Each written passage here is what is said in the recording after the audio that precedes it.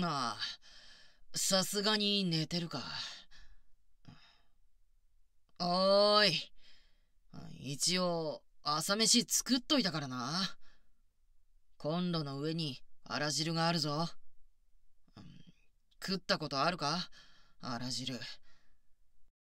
あらってのは、魚をさばいた時に出る頭やら骨の周りやら、ああんま食うとこのない部位のことでな。ちょっと骨が多くて食うのが大変だが、いい出汁が出んだよ。あとは、人参やらじゃがいもやら、いろいろ入れて具沢山にしてみたから、それだけで十分だと思ってな。ちょいと具材がでかくて食いづらいかもだけどよ。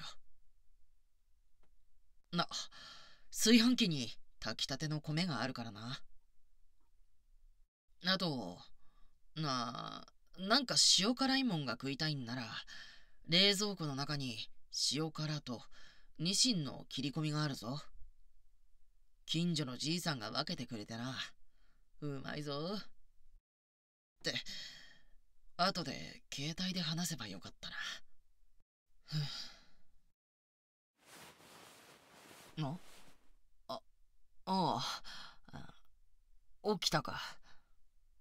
おはよう。んてか、起こしちまったか？さすがにまだ早いだろ。時間。いや、ほら、あれだ。これから漁でな。漁師の朝は早いってやつさ。つっても、その、なんつうか。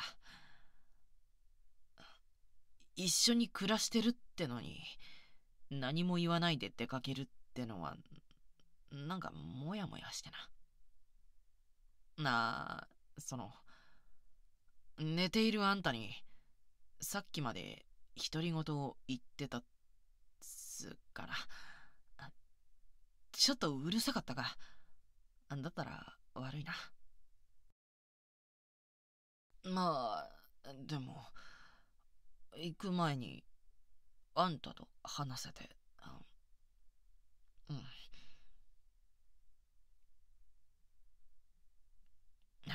ほら、二度寝しまえ。さすがに今から起きると、昼過ぎ頃に眠くなっちまうだろ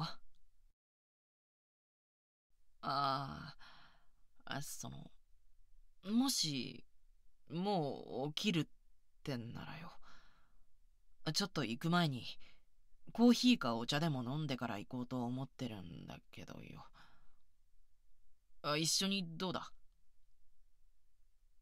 その、眠いんなら無理すんなよ。